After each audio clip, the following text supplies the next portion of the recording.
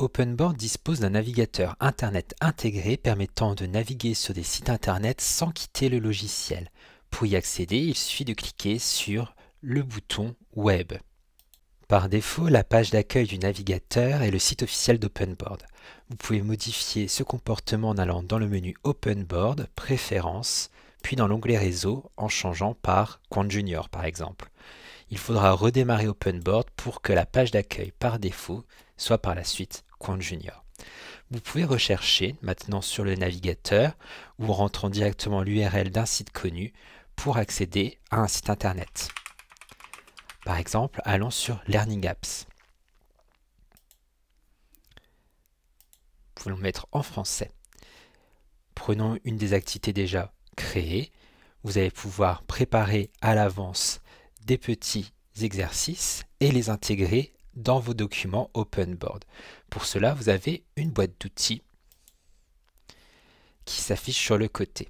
Celle-ci vous permet de prendre une capture d'écran d'une partie du site internet pour l'ajouter à votre document OpenBoard, comme en mode bureau, ou alors d'ajouter le site internet en entier ou une partie de ce site dans votre paperboard par la capture de contenu web.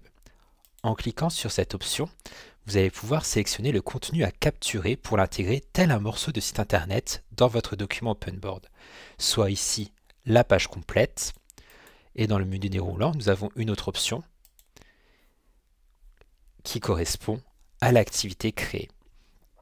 Une fois que nous sommes satisfaits de cette application, nous pouvons créer une application. Une fois l'application créée, OpenBoard retourne directement en mode tableau et l'application créé a été ajouté à votre document.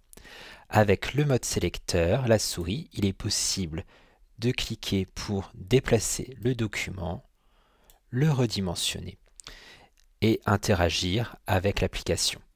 Tout comme le doigt magique permet d'interagir avec l'application.